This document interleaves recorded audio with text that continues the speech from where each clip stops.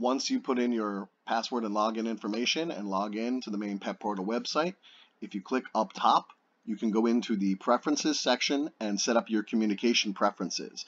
That includes adding email, telephone, and texting information or opting out. And by opting out, you can change all these communication preferences to say where you'd like appointment reminders, pet reminders, and personal messages to go, whether via phone, postcards, text messaging, or email addresses. Once you're done, you click Save.